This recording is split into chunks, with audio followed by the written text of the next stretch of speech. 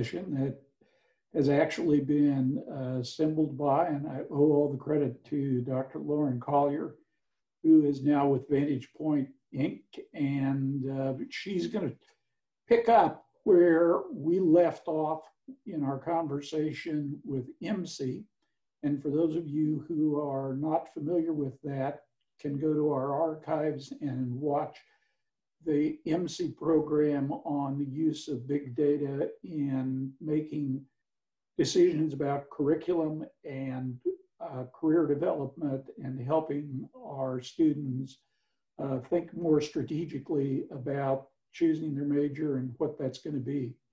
And so today's program is going to go into the pragmatics and uh, some products that can be very useful to our campuses. So with that, uh, Lauren, I'm going to give you the screen and let you uh, introduce a topic and you and Travis take us from there. Sure. Thank you. Uh, it's good to see some familiar faces for sure. I think I know all of you, um, obviously, most recently from THEC, um, but made the jump. Some of you may know, others may not, made the jump in January to Vantage Point. Um, and I want to take a second to introduce my, my colleague, Travis Mantiply, um, who has been part of Vantage Point and helped conceive of and build the things that we're going to walk through today. So for our purposes today, he's going to be our tour director. Um, so jumping right in. Um, all right. So just quick, um, really my intent today is to share with you some of the new ways that of approaching some of these big, messy human problems um, that higher education is up against. Um, and what I'm learning being at Vantage Point in terms of technology and data, but even more than that, how do we make data speak the language of the people that we're trying to communicate with? Um, one of the, the quotes that really resonated with me during the last, the IT presentation from Ellucian was that I don't need to speak technology, but I need technology that speaks my language. And so the, the approach that Vantage Point takes to using data and technology to speak this language. Um, Vantage Point is a technology consulting company, um, but very mission oriented and has developed a niche in this post-secondary space, starting first with military and adult learner contracts and then expanding beyond that.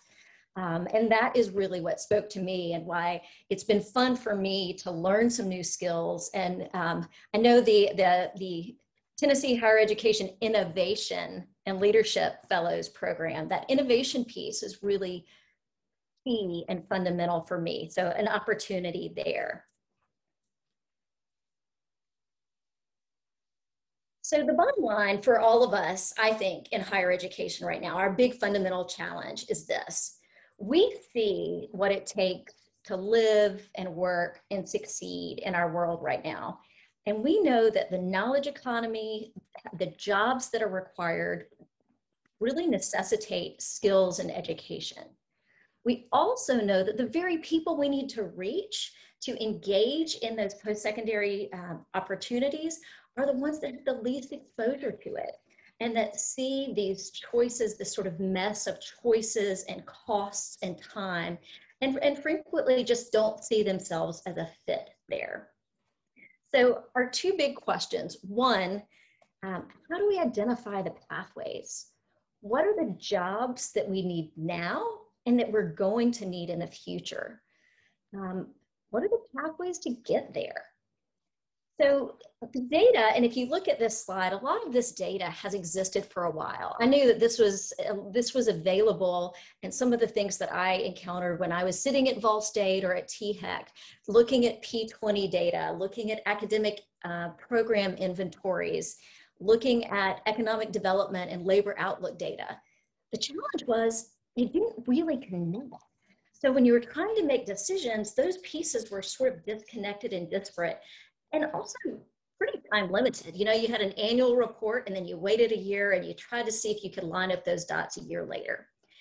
What's different now and this is where the EMSI connection comes in, is these large national data sets like EMSI and Burning Glass that are scrubbing these postings, the job postings, the earnings data.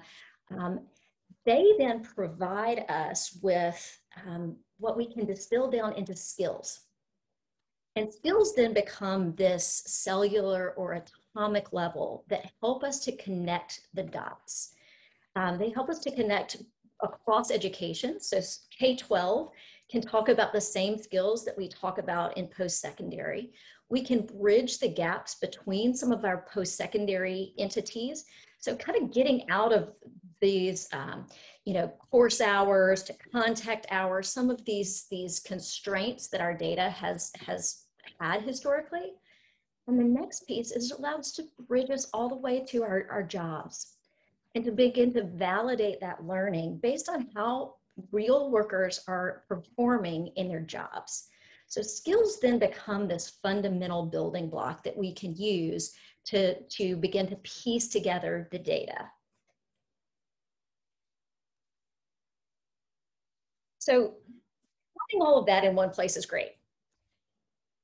But it, it might inform us as leaders as we try to chart our course, but frankly, it's it's not very user friendly and it's certainly not something that is digestible to our average students and families. So the next piece of this is, okay, how do we then slice and dice this? How do we make this useful for the people that we're trying to reach?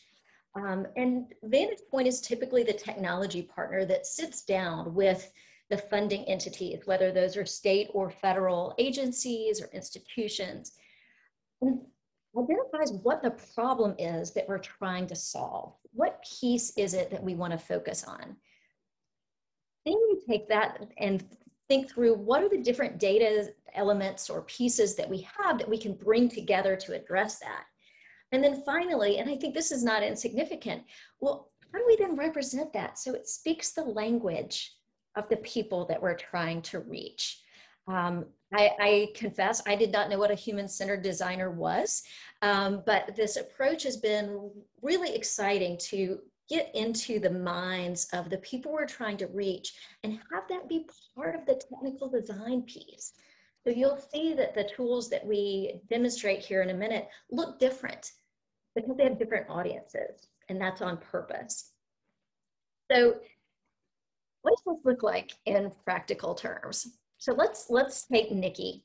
Um, Nikki is a high school student at Sevier County High School. Um, she lives with her mother and her sister, um, is eligible for, for Pell, Pell Grants. She's a good student. She runs track. She's working a job, but she really doesn't know what her next steps are. She's not quite sure what that might look like.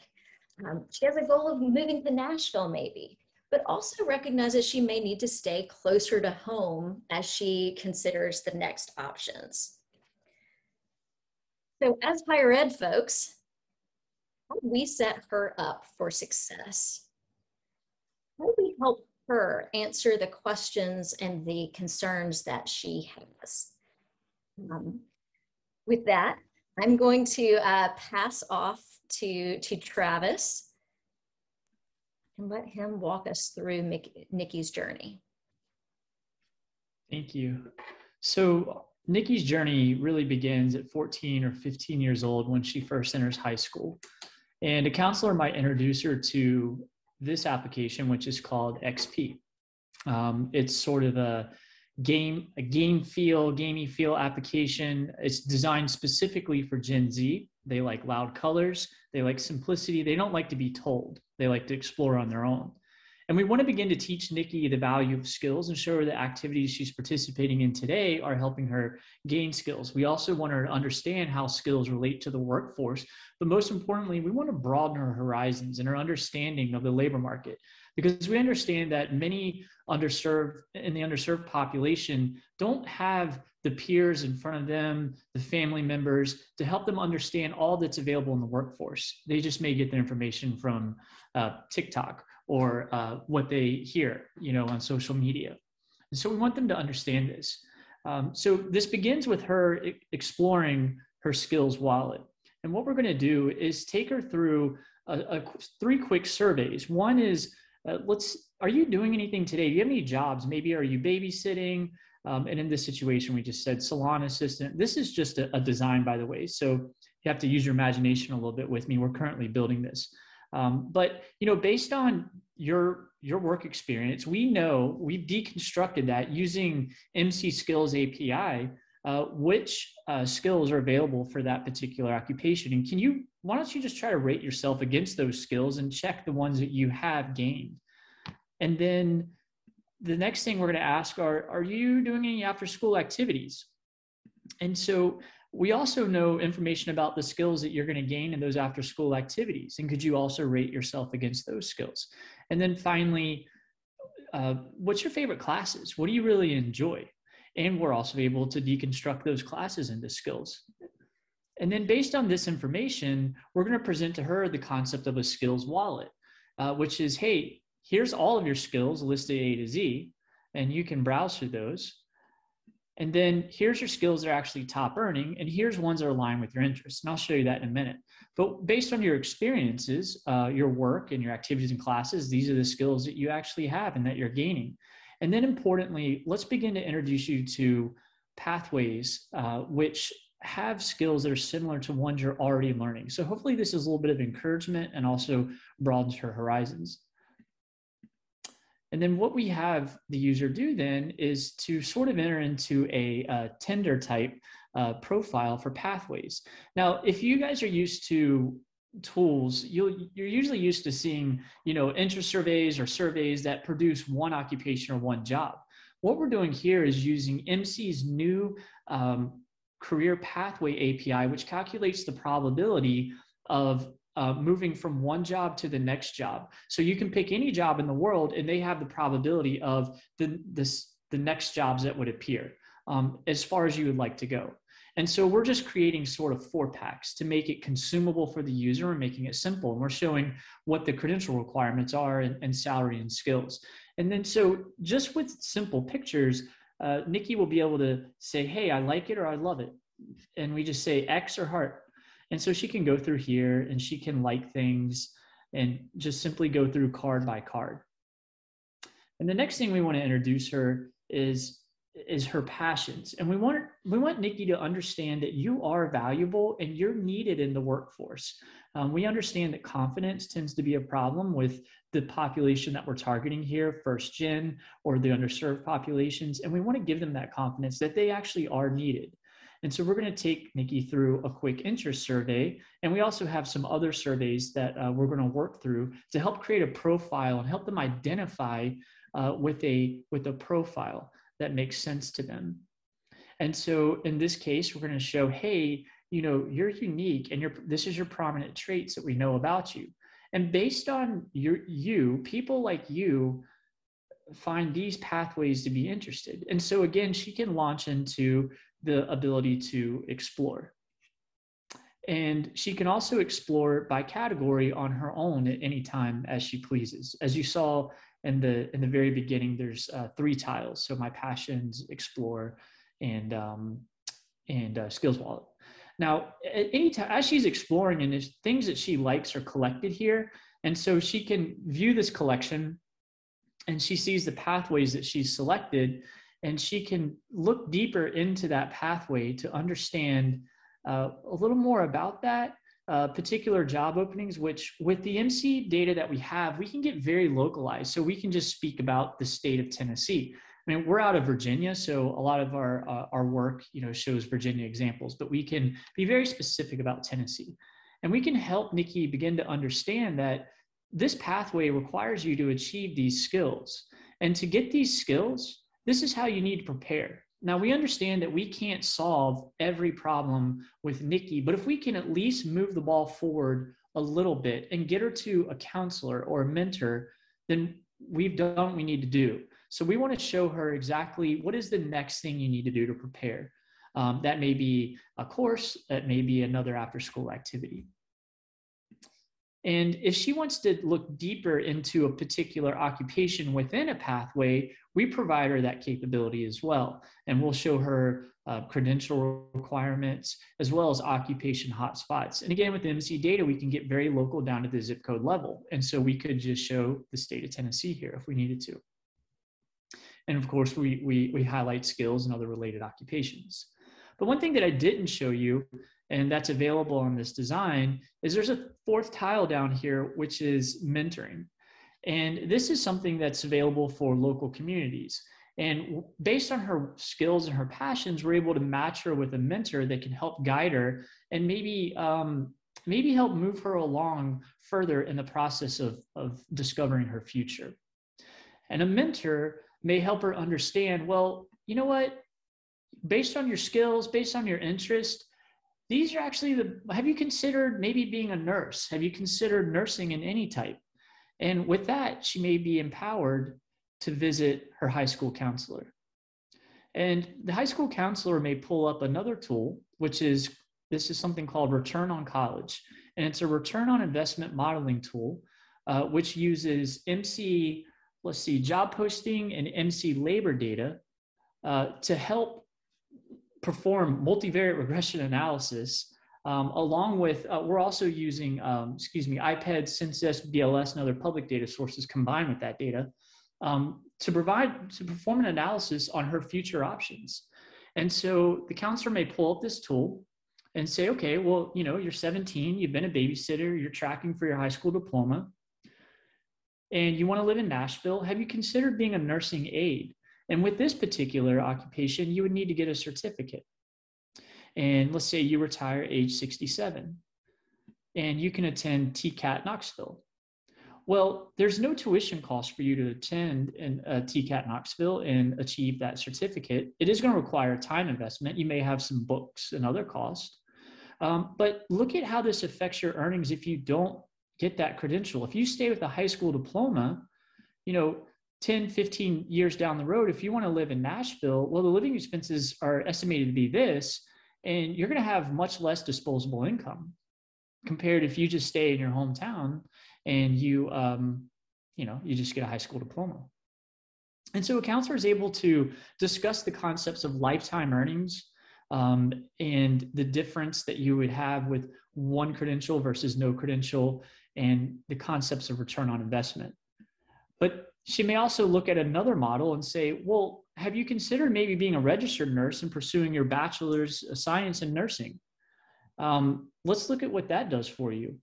You know, you're going to have a little more cost here uh, because if you're going to attend East Tennessee State University and take, let's say, four years to achieve that, it's going to cost you a little bit more money. Um, but your return on investment is going to be 8.9%. And she can, and the counselor can explain the concept of return on investment to her. But also, she's going to see a dramatic difference in her salary and her earnings and really show her that with this credential, your upward mobility prospects are much greater than if you just continue where you are with no, with no degree. And so it's visual and she can explain that. Now, what the counselor may suggest is why don't you go home and talk with your mother? And why don't you visit that institution's website and look at this nursing degree? And then why don't you uh, take a look at your net price? And she can uh, uh, explain what a net price is, how much you're actually going to have to pay based on your family's income. And so this is another return on college product, which is available for the, it's institution specific. What the one I just showed you is free and it's available for anyone to use, any counselor uh, for is free for counseling. Uh, but this one is for for schools and institutions. And here, uh, Nikki could come in with her mother and fill out some information similar to what what the counselor filled out in Return on College. And she's looking at this specific degree, and then she can get an idea of what her net price is going to be. This is sort of a net price calculator 2.0 and she can model different careers that she may be interested in against that credential and then see how that would affect her monthly budget outlook. Hey, if you invest this much money in your education, um, this is what your student loan payment is going to be, and this is what your disposable income looks like. So it's a practical discussion between a family and a potential a prospective student. And we can look at this within one year, five years, and 10 years. But overall, we're still showing the concept of a return on investment. And then finally, let's look at this from another angle. Let's say that Nikki wants to explore on her own and she visits an institution's homepage. And what you're looking at here is something called the Career Accelerator Toolkit, which is a two plus two agreement between Northern Virginia Community College and George Mason. It's analogous to Tennessee's transfer pathways, um, except Virginia doesn't have uh, tuition-free community college. And so here, Nikki could come in and say, all right, you know what? I let me just see, let me just take a look at their nursing degrees. And she could come down here and take a look at their BSN in nursing. And she sees right away that within this pathway, I'm also going to earn an associate's degree and she can get an idea of her course load. And we begin to introduce the concept of skills gained by courses. And so what we've done here is we're using actually Burning Glass data. We use Burning Glass skills and Burning Glass labor market APIs to build this, along with the other public data sets that we've mentioned.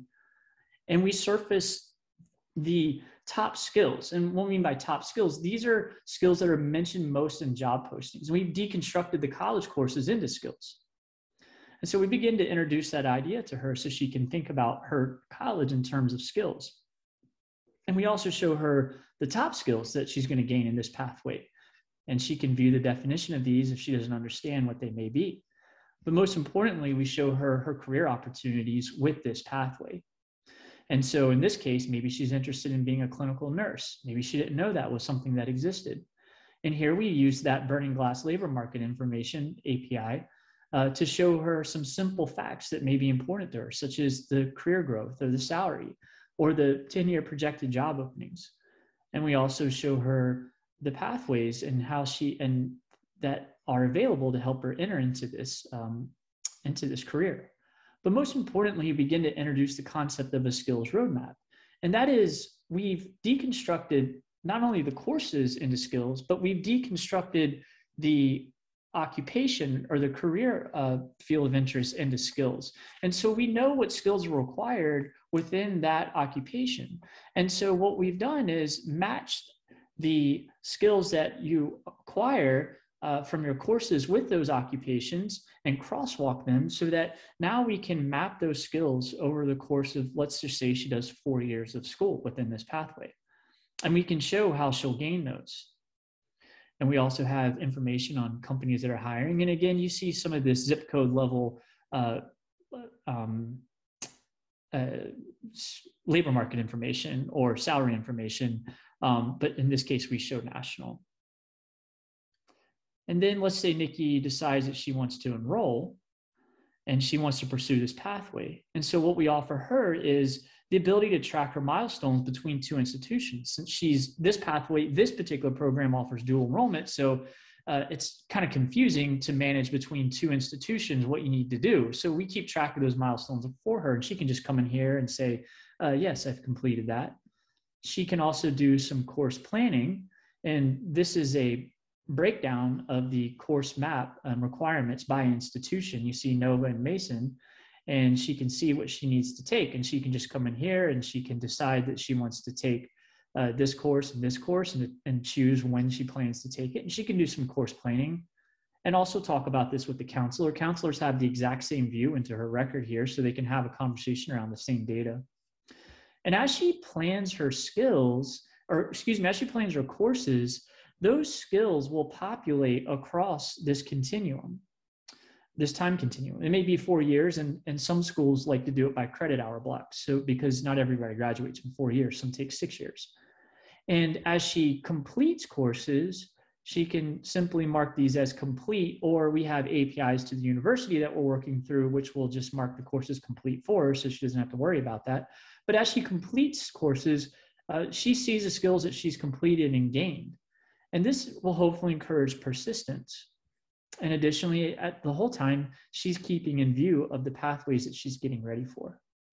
And then finally, the last thing I'll show you is that as she completes skills or courses, those skills transfer to a skills transcript.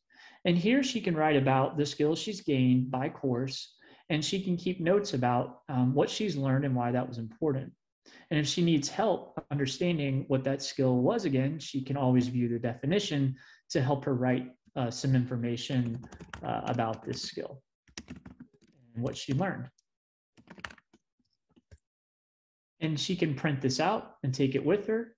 And when she, when it comes time to have an interview with an employer, now she's able to speak more intelligently about her coursework, hopefully advertise herself better, and uh, and stand out from her peers as she can speak better about what she's learned and how that relates to the employer because the skills that she's gained are the skills that they need. So I'll stop right there. Um, Lauren, back over to you. um, so we we did a flyover approach here on purpose um, to to show kind of how some of this data is used in a very practical way. Um, we, we've got mostly tech folks here, but I do want to, to, kind of toss out some of my impressions and see what jumps out at you. So for example, uh, when I first saw the advanced tool, um, what crossed my mind is, I know the practical implementation of the Tennessee transfer pathways. We know what is legal and we know what happens in practice. And how amazing to have a tool that puts everybody on the same page so that you can really show and the student can advocate for themselves to make sure that they are getting the credits that they've earned. The other piece of this is the way that it's built. So a lot of the heavy lifting in clarifying these pathways happens on the back end using technology by matching those skills. But that is then passed off or given to faculty to review, to approve, they can edit, they can make changes. So for those of you who have lived like I have, trying to make that happen at a faculty level, you know, you're bringing your disciplinary folks from the community college and the university together, and you get kind of stuck there. The back end value of this for some of us is maybe almost as important as what it provides to students. Um, so I, I, will toss that out. Um, there similarly with uh, return on college. Um, I know there is the student right to know bill that's uh, moving through the legislature now, but often where those get stuck and where it becomes really problematic for institutions is if there is a mandate about how you communicate your um, financial aid awards, that becomes a very heavy lift. Well, what if you have a tool like this that does it for you? you get to, the student has the ability to know and compare, um, but it doesn't require the institution to completely retool your, your processes. Um, so yeah, let me open the floor and back away and feel free to bring your, your tech questions, your data questions, what have you.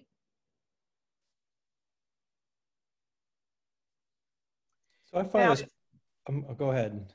I was just going to ask, so is this information something that can be used by any college or university?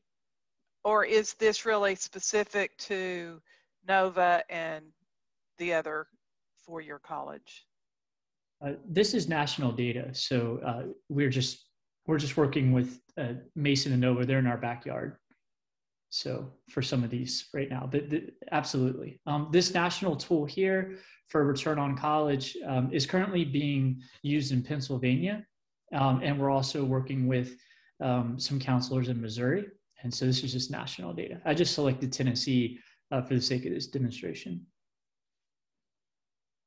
So when you're in the, uh, the, the GMU Advanced Toolkit, is that within your application? Are you solely within your, the application? I'm just curious how that works. Are you actually on George Mason's website at that point? Oh no, it just looks like that. Uh, our designers have done a good job. okay.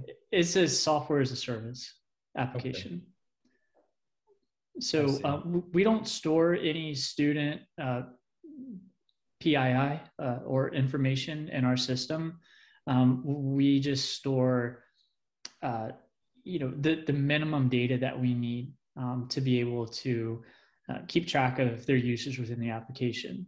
Um, so a lot of this data is shared via API with Mason or through flat files from their systems. I see. The other thing I find interesting is, you know, I have two rising seniors, you know, and we're going on college tours and, uh, you know, I'm fortunate I live in Collierville, Tennessee. We go to a great school and they have career counseling and they still don't know what they want to do so I do find this aspect very interesting because it really creates a it creates self-awareness, I think, you know, for the student. And so and, and, and they can do it in real time and it appears like they could do it on their mobile device. You know, if they have to go to any other place to do it, they're not likely to do it, which I find interesting. I think that mobility is, is important. And the second thing I'll say is, you know, and I get this from students all the time is financial literacy. I mean, you got a tuition estimator that sits in one place, cost of attendance, which isn't, it's more than just tuition, sits somewhere else. And then you have degree progress sits in another place, and this application looks like it can tie these things together. That's that's correct. I was just showing you. Um, sorry, the, you know the how it's responsive. This is a responsive website, but uh, that is correct. Um, there's some there's some real benefits there. And, uh, you know, oops, looks like, I'm sorry, I'm in the de- development environment. Looks like it's getting a little buggy on me. So uh, I can reload it. But yes, uh, it, uh, uh, degree planning, career planning, uh, as well as um, some career counseling. It, it, does, it has ties into each of those. Um, Michael, one of the things that's interesting and that I'm still wrapping my head around is that these are essentially like a bunch of different building blocks that can be brought together in different configurations based on whatever it is that you know what is the problem you're trying to solve. So in this case you know we can sort of pull out we've got the um, the career piece the interest piece the financial piece. How do we want to fit those together? Um, it you know based on whatever the the real use case is that you need to solve. Sure Okay. Well, I'd like to piggyback on that. Um, so sounds like you're the, the tech guy. Uh, uh, so all of this is microservices, and uh, so we, we consider them Lego blocks, and we we're finding that many of the needs of states and institutions are similar, and so we're just reconstructing the same thing over and over again, just in a different way that meets their needs and their problems. So that's what we've done. We've just, you know, the ability to look at a pathway, the ability to uh, view specific data points are all available microservices. We can just restructure it as needed, and we can also uh, design as needed uh, for the end user. Um, and something that's also interesting, which I don't have a demo of, I wish I did, a lot of this data that we're using today, uh, we have a proposal with the state of Florida. We'll see how that pans out on Friday. Um, but basically, we are going to help them understand the supply and demand of credentials at the local level, particularly CTE credentials, um, as well as return on investment for credentials, um, and really help their policymakers make decisions or understand where they should make decisions um, regarding the administration of education in their state. Um, and that's available through just an analytics dashboard. So, you know, whereas this data is structured for users of different types, as you've seen in different applications, um, that is another example where, but it's more for policymakers. And so they wanted to see uh, to the point executive summary level um, visualizations. Well, as you know, in Tennessee, our legislature is really big on transparency. And in fact, you know, they passed some laws recently when we admitting undergraduates, or you have to have a summary of their estimated costs over a uh, degree program, the course or the life of that degree program. I'm sure, Lauren, you are familiar with that as well. Right. And so we're always grappling with ways, how do we present this in a way that makes sense? But I, I, I want it to be more than just something you send to somebody and just sort of sits on a shelf just to check off a requirement. How do we make it inter- really interactive for these potential students? Agree. And, you know, Mike, one of the benefits too, this, uh, the, the university level application of this, it allows the student even to play with what happens if I change my major? You know, I mean, my, my own personal real life case when I hit organic chemistry and said, oh, wait, maybe I don't want to go to med school anymore. What is this going to look like for me?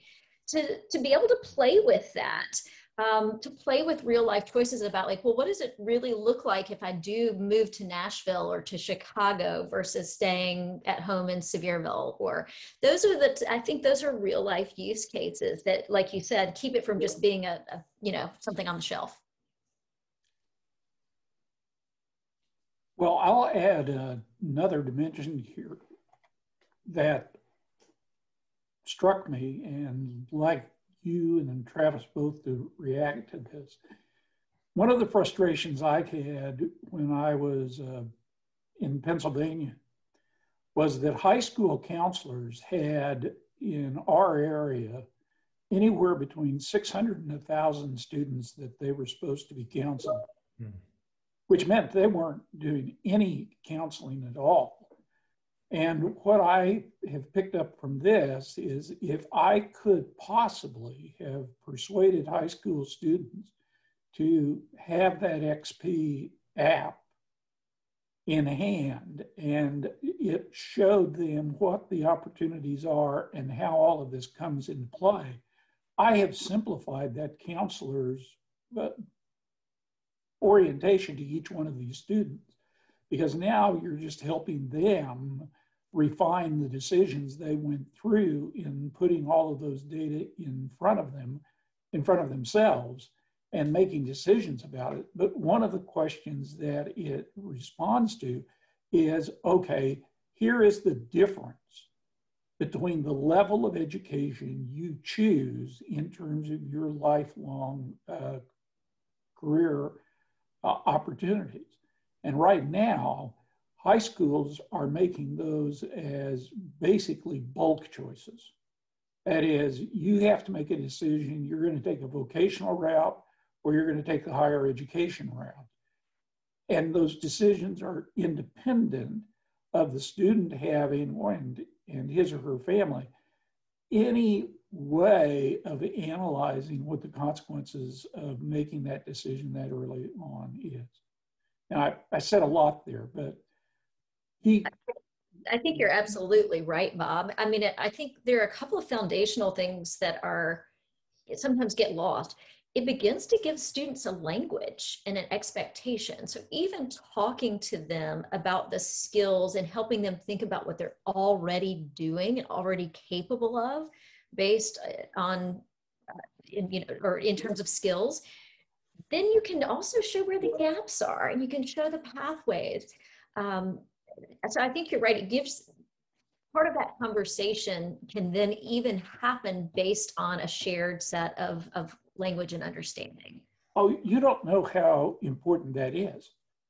I, I'm, you know, and everybody on this call knows that I work uh, on a regular basis helping people improve their resume. People who are in their 50s and 60s. And every day that I do that, I help someone identify a skill set they've got that they did not acknowledge for themselves. So it's not it's just not junior high and high school kids who and the instant gratification of answering those surveys and saying, "You mean I've got these skills?" Well, that's that's inspiring. I mean, that's motivation. That uh, helps reinforce for the person uh, that they're accomplishing something and then seek other opportunities from that. Absolutely. In, in, the same way, I mean, we all know, look, I, you know, my, my personal recent story is here I am, I have a PhD in higher education, and I can't compare the award letters of my goddaughter and tell her what her bottom line is. Like that, that to me is highly problematic, right? And then you get into these complex decisions about like what is good debt and what you know opportunity costs and roi i mean those are those are just conversations that are hard to even start with but when you can lay it out and say look you know yeah you, you're going to invest some time and some money here but look what your life is going to look like when you're 30 if you do choose to pursue this degree um, i think that that creates a very different conversation uh, I wanted to react to something else that Dr. Smith said that I found insightful and is worth calling out. And that was the increase in productivity that comes from these applications. I mean, oftentimes when people are building or using technology to build apps, they think, ah, this is going to solve everything. If I just build this app. And we've come to realize that an application is not necessarily going to solve everything. You only can do but so much, and it can only achieve but so much. And so, if we can set a goal and move someone forward or bump them to the next step in the road, then we've been successful. And so that's the approach we've taken. And and so to sum that up, we just really see these as uh, tools or methods to increase productivity across um, everyone the student, counselors, parents, and, and that's important.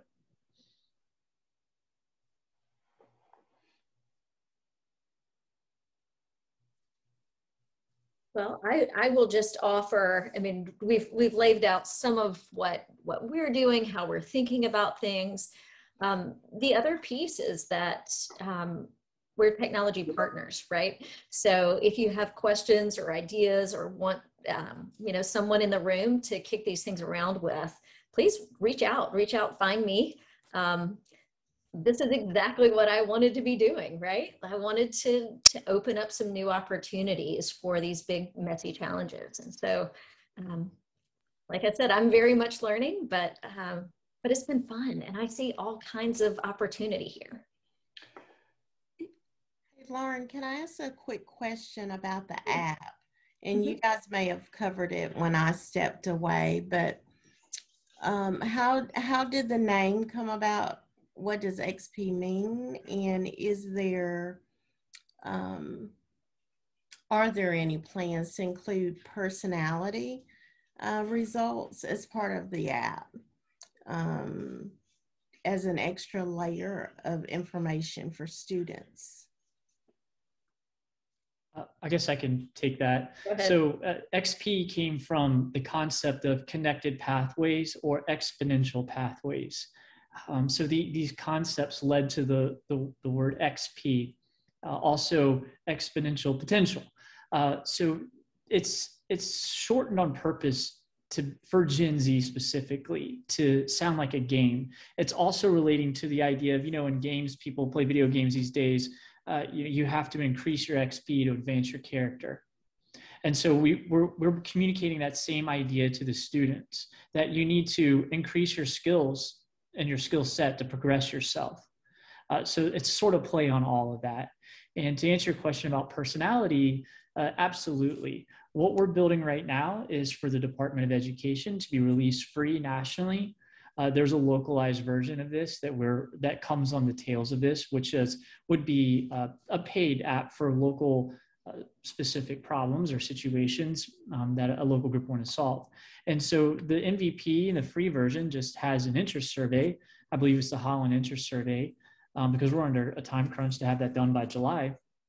But we also have concepts for Myers Briggs and other personality surveys uh, to give the user a holistic view of themselves. But you got to understand with Gen Z, they're just not going to go through step one, now take Myers Briggs. Step two, they want to be able to choose and make that decision themselves. They don't want to be forced into a long survey. So we have to craftily design that. Thank you. Very helpful.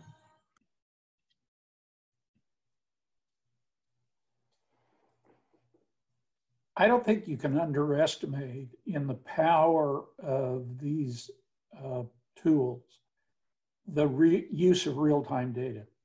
Mm-hmm. And particularly as we sit here in 2021, not fully aware of how much job shifting and redesign of jobs has occurred in 2020. You know, I read every day in trade publications in the business sector a lot of concern about how people adapted in 2020 and have no plans of changing some of those adaptations to return to normal. Right. So, um, do you want to talk about the power of that real time data and what the implications may be? Because you really have a possibility here that as the person goes through, one of the unintended consequences is that the skills for the job they're pursuing will shift during their four years in college. Actually, may I take that Lauren. Yes. So, um, because there's a really good use case here that I want to explain, and that's the portability of skills transcript. The next step that we're working on here with George Mason, I think it, it may indirectly answer, may directly answer Dr. Smith. So I, I think it'll be satisfying though. Um, we have a blockchain concept that we're going to introduce so that every skill that you earn is signed by the university as a trusted skill that's been evaluated. And that student then has agency over their skill and their credentials, which they don't have today. With that agency, you can then um, release your information to whom you wish, so an employer or a market, where people can scan your skills and understand what you offer them, and it may open up other opportunities for you. But looking, but looking back by giving access to your record to the university, the university then can look at the skills that you're gaining or continuing to gain post graduation and they can understand that hey what i see going on with your record and your skill set is that your skills are declining according to the job market or the job market has changed and so we actually can help you so i'm going to nudge you and say hey here's a micro credential or a course you can take on the weekend that will increase your skill sets and help you maintain your earnings potential or increase your earnings potential. And so we're seeing this as a participation between the, the learner, the university, and the workforce. And something like blockchain would bring that together. But the other thing I want to state about that is the case for equity with blockchain, which we really believe in, because you know before someone who maybe couldn't afford to finish or had circumstances that caused them not to finish a credential, instead of just saying, I have some college courses and that limiting their uh, potential in the workforce, can now have trusted signed skills by the institution of the courses they did complete. And that makes them more marketable than just some college courses. And so I, I think, does that sort of answer your question in a roundabout way or in a satisfying manner? Yeah, I wasn't looking for a definitive answer. I just thought that it is an element worthy of discussion. In fact, you Mhm. prompted another dimension of this. You're talking about this entirely from the student's point of view. And then when you said, well, I can see that your skills are, are uh, not keeping pace with the changes that are occurring in that career, shouldn't we be having that same conversation with the faculty? I see your curriculum is not keeping pace with the changes that are happening within that discipline? Absolutely. Absolutely. As a matter of fact, I'm meeting with a group of faculty today to conduct a design thinking session to talk about how they view their courses in terms of the workforce and the relevancy. So, what you're saying there is absolutely true. And it's a tough conversation to have. So blockchain is very interesting technology. And so you're you're betting on global acceptance of blockchain going forward. I'm not going to sound um, like I know the answer. Um, I'm with you on that. We're also skeptical. Um, there's numerous challenges with that. You know, number one is what standard are we going to use? It's like the VHS or beta. Whose blockchain are we Yeah. going to use? You know, I mean, so we have that problem, right? Um, there's there's numerous challenges to solve there. So the way we approach that is instead of investing millions of dollars, uh, let's just what is the most minimum amount of money that we can do to create a test to see if this is valuable or not, and then based on what we learn from that, let's decide if we want to continue funding or pivot where we're moving with that. So. So it's really testing the market in some ways, right? And then seeing where it goes as as technology evolves and as acceptance evolves. Absolutely. And if you've ever read The Lean Startup, it's a great book. And those are the principles that really underline our DNA at our, at our company. And so we bring that to higher education, which is sort of unique. Um, but uh, administrators in higher ed are actually really liking that. They're like, oh, this is kind of nice. I don't have to, you know, do this long procurement and all this money. You know, we can we can test things on a budget. Well, sort of speaking off the cuff, I mean, at some point, university is going to have to make a decision whether they accept cryptocurrency at some point. You know, we're just not there yet, but I mean, long term, I mean, we got to be thinking differently as well. So, very interesting that you mentioned blockchain. Just triggered something in my mind that I just couldn't help but ask. It always triggers someone in some way, shape, or form or another.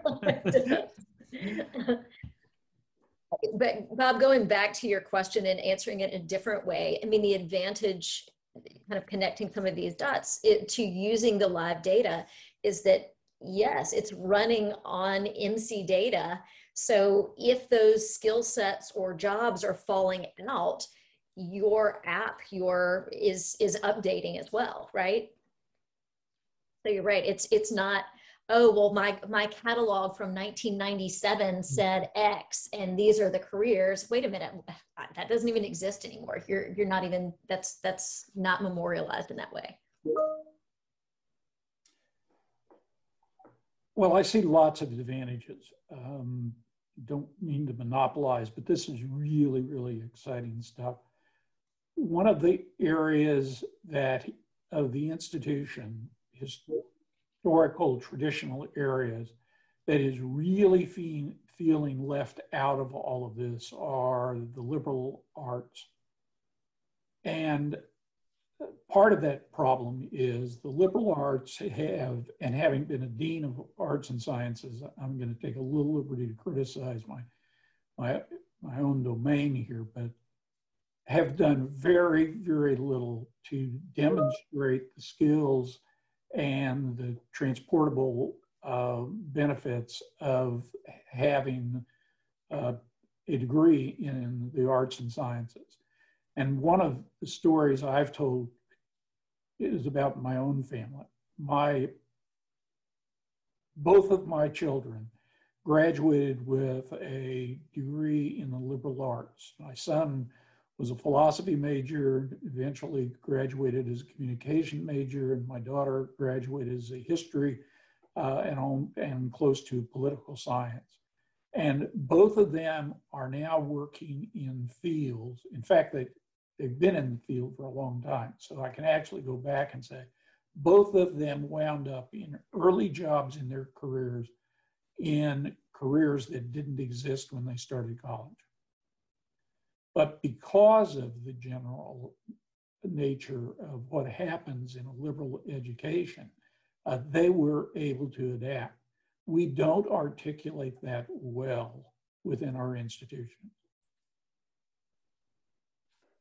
I agree. And Bob, it jumps out at me that if you look at one of these skills roadmaps, you know, yes, there are some technical elements, but a lot of them are not. A lot of them are those transferable skills, those gen ed, things that you learn in those gen ed courses.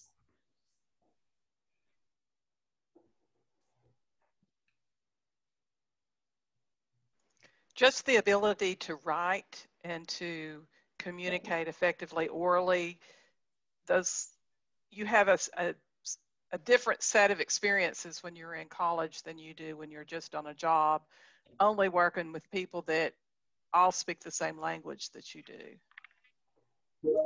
Absolutely. Hey, um, may I clarify? Uh, Dr. Taylor asked about in the chat, and I just want to clarify this for the group. The group may be interested in this. Um, so XP is developed under Department of Education grant, and we're de developing it with the Council, uh, Council for Adult and Experiential Learning, CAEL. And it will be released in July, what you saw today. Uh, that won't include the the dedicated mentoring, live mentoring aspect. That's something we're building with a group called the Mentoring Method, and that will be in the localized version. The app that you saw today will have national data, um, but what we're looking to do is partner with some local organizations who can then, uh, we can work with mentors and um, we can target the application for a specific group at a local, a local area. Um, what that means is the data becomes more localized, the jobs, the occupations, the pathways become more localized, um, specific for the area or the regions that, that, we're, that we're trying to serve. But most importantly is we're building something called the experience registry. And what that does is allow uh, after school clubs, summer camps, or any type of organization that wants to participate locally to enter in their experiences that they're offering and then we're going to deconstruct those experiences into skills. So that may just be summer camp. Uh, that may be a school, uh, a, a, free community college, tuition-free community college class. Uh, that could be anything that that that that local group who's purchased the application wants to structure. And then we're going to take those experiences and help nudge the user of XP along uh, particular pathways, particular local pathways. Um, so that's that's the plan for that. Um, if anybody has any questions, I hope that answers Dr. Taylor. Thank you. You did. We're at a point to wrap up here, so I'm going to ask uh, Travis and Lauren to summarize what uh, you want us to have as the key takeaways from the session that we've just enjoyed. Sure. From, from my end, I know what the questions I had sitting in your seat just a couple of months ago and and frankly didn't have a way to answer, right? You couldn't just go to Google and say, find me a tool that. Um, and that's so that's the the introduction. Um, if these are things, these whether these specific tools are appealing to you um, we're happy to talk about what partnership might look like. Most of these, the development, the heavy lift financially has happened because of grant funds. Um, depending on what your use is, it may be plug and play, or it may be that to configure it specifically, there is some cost, but again, most of that has been largely subsidized. Um, the second piece is, you know, I love problem solving. I, I want to figure out ways that we can use this data and technology. Nobody wants it to sit on a shelf. So if you are looking for partners, thought partners or otherwise, I mean, that's, that's just sort of my offer on the table. Um, this is what I care about. Travis, you, you want to top me? I, I can't. Uh, I can't, Lauren. so whoever, I just want to say, whoever gave us Lauren has given me my new favorite coworker. So thank you to this group. so. Also known as the thorn in his side sometimes, I'm sure. Thanks, Bob. I really appreciate the opportunity and, you know, hope that this is the first of, of ongoing conversations with those here and those who are not. So some of whom we've, we've reached out to uh, individually as well. Well, thank you to both of you. you. This is really, really exciting. And for anybody who is engaged in strategic planning within their institution, they've got to be thinking further out in the horizon than I think we currently are. I think most people are just thinking, how am I going to get started in fall? And uh, there is an opportunity between now and fall to take a concept like this and have it in place and put that in and have something that for families and for students uh, can be very, very responsive. We know that the whole concept of student recruitment is rapidly changing. Uh, a lot of factors associated with it. Everybody's looking for an edge. Here is not only an edge, but it is also a desperately needed service and benefit to families and to students that uh, we ask to uh, uh, come under our care. So, Travis, Lauren, thank you very much. Thanks for joining us. Thanks for having us, Bob.